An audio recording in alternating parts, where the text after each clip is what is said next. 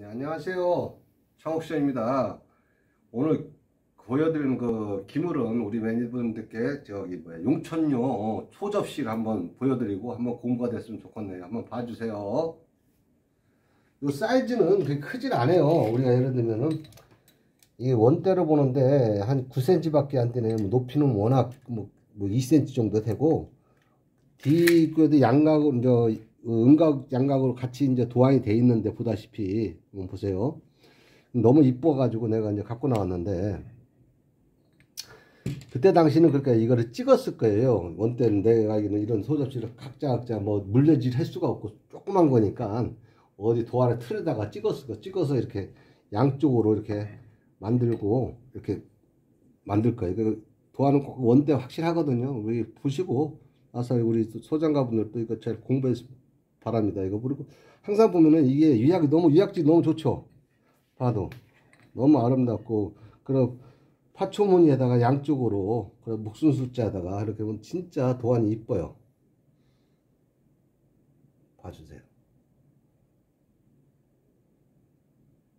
사이즈는 얼마 크지도 않는데 이 다섯 개가 있어가지고 내가 한번 비워드린 거니까 이런 기물로 또 사실은 뭐 중국에서도 보면은 그 도로게 크지 않아요. 한 뭐 10cm, 12cm 그런 것도 상당한 그 이쁨은 유약질 좋고 하는 거는 상당히 가격이 올라가니까 우리 매니아분들도 그런 걸 이런 걸 보셨다가 잘 참고가 됐으면 좋겠네요. 아무튼 중국 도자기는 끝이 없어요. 너무 많으니까 이 수량도 많고 가지수도 많고 뭐 가마도 그 땅이 엄청난 뭐 송때부터 뭐 당때부터 뭐 지금 청때가장 민국 때가장 그 가마만 해도 어마어마하니까 우리가 뭐 감히 뭐 몇 천 개라고 몇만 개라고 할 수 없어요. 너무 많으니까 이 또 중국 도자기 숫자도 많으니까 우리 시계에서 간단간단하게 보려면 용천 같은 거는 이제 유약질 그리고 아까 얘기했던 밑굽하고 달 보면은 이게 는 원대 송대는 또 깔끔하다고 해서 얘 말씀드렸잖아요. 송대 거는 좀 깔끔해요.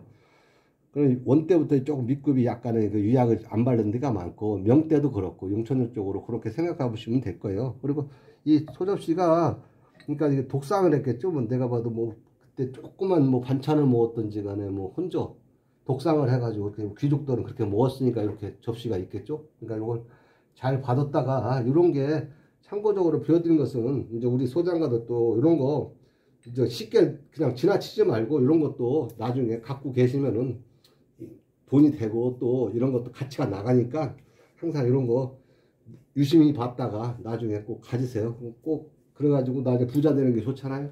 그러니까 항상 우리 씨는 이렇게 비워드리는 것은 이런 여러 가지 있지만은 한번 또 새로운 거 고도작이라고 보여드리는 거니까 우리 매니아분들도 그런 걸 잘 공부가 됐으면 좋겠네요. 그럼 감사합니다. 안녕히 계십시오.